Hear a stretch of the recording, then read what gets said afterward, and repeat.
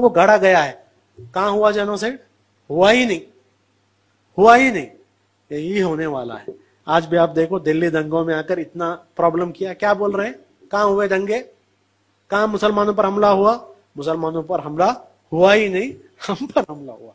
यही होने वाला है। तो कल आप सोच रहे हैं, कभी हम सोचेंगे जेनोसाइड हुआ तो पूरे दुनिया में इनका नाम खराब हो जाएगा। जेनोसाइड कर कर पूरे दुनिया के सामने प्रूव भी करेंगे कि जेनोसाइड नहीं हुआ। कुछ नहीं कर सकेंगे हम लोग। हम लोग जो सोच रहे हैं ना, सबको पता, किसी को पता भी नहीं चलेगा, हुआ करके, उसको इस तरीके से दबाया जाएगा। ये रियलिटी है। मैं आखिर में तीन बात आपके सामने रखकर मैं मेरी बात को यहाँ पर खत्म करता हूँ। आने वाले दिनों में जो मैं पूरा आपको प्रोसेस बताया, आने वाले दिनों में क्या होने वाला है? आने वाले दिनों में आप तीन तरीके के प्रॉब्लम्स देखने वाले हो। आप, मैं, हम सब लोग, इंडिया के मुसलमान तीन तरीके के प्रॉब्लम्स देखेंगे। तीन तरीके से मुस्लिम कम्युनिटी को प्रॉब्लम्स क्रिएट किए जाएँगे। पहला तरीका होगा जिसमें गवर्नमेंट खुद पॉलिसीज़ बनाकर गवर्नमेंट खुद कानून बनाकर एंटी मुस्लिम लेजिस्लेशन बनाकर मुसलमानों को टारगेट करेगी। पहला तरीका यह होगा। इसका एक एग्ज़ाम्पल आपने देखा सी एनआरसी और ऐसा आप मत समझिए कि कानून को एंटी मुस्लिम कानून एंटी मुस्लिम कानून वो लोग नहीं लाएँगे। एक जनरल कानून लेके आएँगे, लेकिन उस कानून का जो इम्प्लीमेंटेशन होगा, वो इम्प्लीमेंटेशन इस तरीके से होगा कि सिर्फ़ और सिर्फ़ मुस्लिम्स को ही टारगेट किया जाएगा। अब सी एनआरसी के बारे में क्या बोल रहे हैं? सी भाई सी कानून मुसलमानों के लिए है क्या? वो तो जनरल कानून है। आप लोग क्यों डर रहे हैं? लेकिन क्या होगा पता है? एनपीआर बनाया जाएगा। एनपीआर तो नेशनल लेवल पे होता है। एनपीआर के नीचे क्या होता है? डीपीआर होता है। डीपीआर के नीचे क्या होता है? एलपीआर होता है। एलपीआर बनाने की लोकल पॉपुलेशन बनाने की ज़िम्मेदारी किसको है पता है आपको? एलपीआर बनाने की ज़िम्मेदारी आपके तहसीलदार की है। पंचायत ऑफ़िस में बैठने वाला तहसीलदार को है। उस तहसीलदार को सिर्फ़ टारगेट दिया जाएगा। टारगेट क्या है? अगर सौ एप्लीकेशन आते हैं, सौ में बीस एप्लीकेशन को डाउटफुल करना है। बस, उसके लिए कुछ नहीं है। उसको सिर्फ़ सौ में से बीस एप्लीकेशन को डाउटफुल बनाना है। फिर आप बीस साल प्रूव करो, मैं सिटीजन करके। तो कानून वो लोग स्पेसिफिक नहीं लेके आएँगे जनरल कानून लाएँगे, लेकिन उस जहाँ कानून का इंप्लीमेंटेशन मुसलमानों के अगेंस्ट होगा।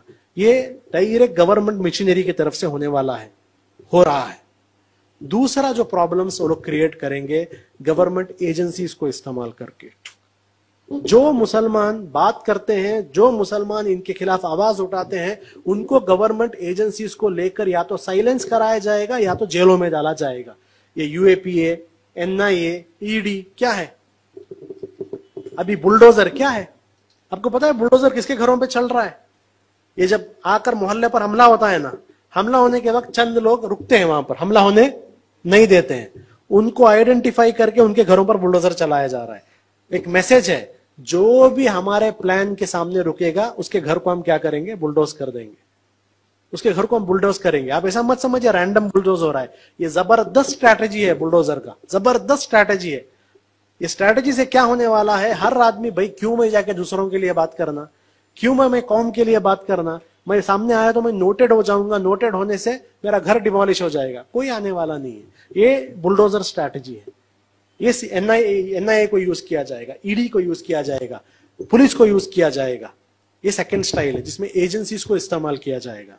और तीसरा, जिस तरीके से प्रॉब्लम क्रिएट जाएगा, तीसरा तरीका फ़िज़िकल होगा, जिसमें एक मॉब आएगी वेल प्रिपेयर्ड होकर, एक छोटा ट्रेलर जो उन्होंने रामनवमी के टाइम दिखाया, उस तरीके का जो जेनोसाइड जेनोसाइड धर्म संसद में लोग बोल रहे वो जेनोसाइड का वो लोग प्रैक्टिकल इंप्लीमेंटेशन करेंगे। और ऐसा भी मत सोचिए, पूरे इंडिया में एक साथ होगा, पूरे इंडिया में एक साथ नहीं होगा। इंडिया में बहुत सारे ऐसे जगह हैं जो वलनरेबल्स हैं। थोड़े वो लोग स्टेट वाइज भी नहीं करेंगे। वो लोग लोकेलिटी वाइज करेंगे। लोकेलिटी वाइज करेंगे, मोहल्ले वाइज करेंगे सिटी वाइज वो लोग करेंगे।